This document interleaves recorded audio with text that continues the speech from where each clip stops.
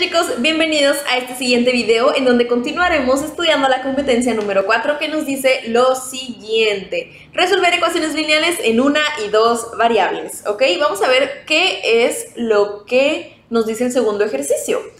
¿Cuáles son las dimensiones de un terreno rectangular si consideramos que su perímetro equivale a 72 metros y que el largo es el doble del ancho? Muy bien, bueno, tenemos entonces un terreno rectangular, es decir, pues un rectángulo, obviamente este está a escala, pero sabemos que el largo es el doble del ancho, o sea, este largo sería 2x si yo tengo un ancho de x, ¿sí? Eso representa el doble, ¿no?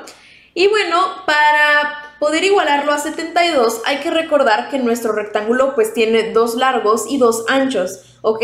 Tú no puedes hacer lo siguiente, x más 2x igual a 72.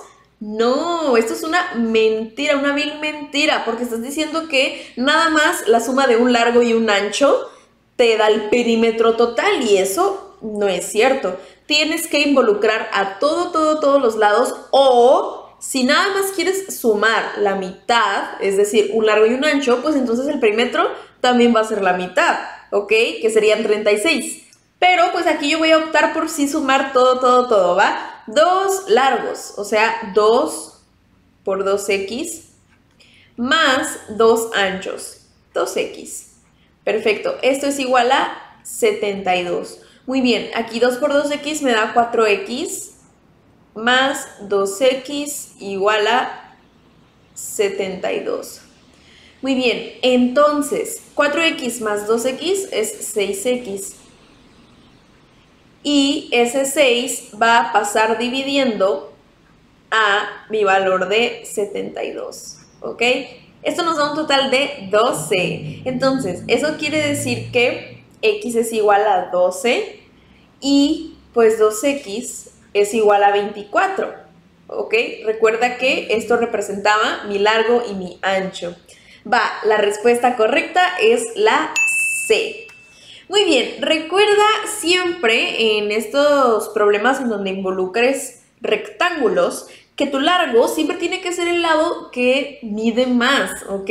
Vaya la redundancia, el largo es el lado más largo, ¿sí? Entonces, no te vayas a confundir en ese sentido porque si en las opciones nos hubieran dicho, por ejemplo, aquí en la B, ah, el ancho es 24, y el largo es 12. Pues puedes caer en el error de decir, ah, mira, aquí están las dos medidas que yo saqué, listo. No, el ancho por ningún motivo debe de ser más largo que el mismo largo, ¿ok?